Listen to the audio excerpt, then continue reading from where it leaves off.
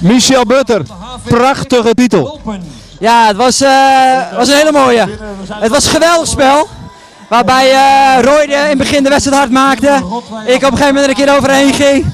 En daarna het zomaar helemaal stil viel. En gewoon kijken naar elkaar. En eh, ja, op een gegeven moment, ik werd wel een paar keer, zette ik wel heel hard aan. En toen merkte ik wel dat ze elke keer een gaatje op mij moesten laten gaan. En eh, op een gegeven moment was het, eh, was er echt wel een verschil. Alleen toen liep ik helemaal alleen. Jesper kon het niet meer dichtmaken. En ja, toen zag ik, toen zag ik nog wel dat ze met z'n drieën waren. Dus toen dacht ik wel van oei. Eh, als ze echt gaan samenwerken, dan eh, moet ik in mijn eentje. eh, dus toen liet ik me heel even terugzakken. Toen zag ik ineens dat Jesper eraf was. Dus schreeuwde ik naar Bart en Roy, kom op jongens, aansluiten. En dan is Jesper eraf. Want ja, die wil niet meenemen naar de finish. Maar zij hadden, toen ging Roy er ook af. Toen zei ik, nou Bart, wij met z'n tweeën. Want toen ging Bart er ook af. Toen dacht ik, ja, nou dan ga ik maar. Jij liep, mag ik het zeggen, in het jaar dat je dat Nederlands eh, een hele snelle tijd op je marathon, je persoonlijke record, zo liep je weer. Ja, ik ben echt heel goed in vorm. Inderdaad. Nogal ja. Ja, ja. Ja, het gaat gewoon heel erg goed. En eh, ik heb heel veel maanden lang, bijna een jaar nu achter elkaar, heel goed getraind.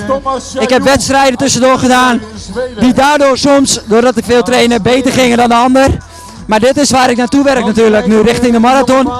En eh, ja, hier wil ik, op dit moment gaat het gewoon goed. Het zag er ook heel mooi uit. Technisch. Technisch.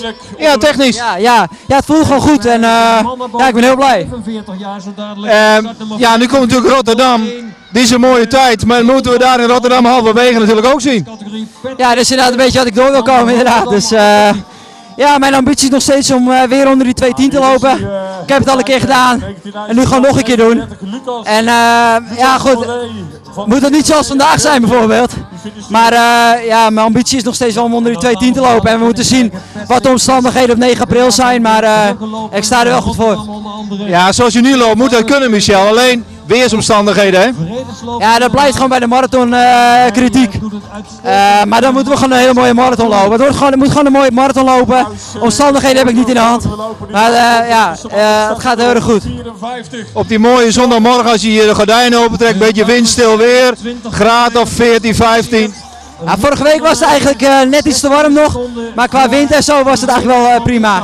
Ja, laten we het hopen. Nu nog een halve marathon geloof ik hè, fanloop. Ja, volgende week de laatste serieuze test voor mij.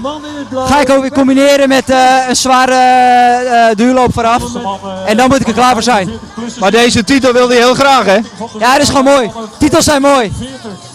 Die blijven altijd. Ja, ja, ja, zeker. En nu nog een heel mooi persoonlijk record in Rotterdam. Dat zou echt mooi voor jou zijn hè. Na al die ellende, geen Olympische Spelen, een hoop gedoe, blessures. Gewoon een vet persoonlijk record. Dat vind ik een hele mooie eh, uitspraak. Ook ja. Oké. Tot ziens hè. Yo.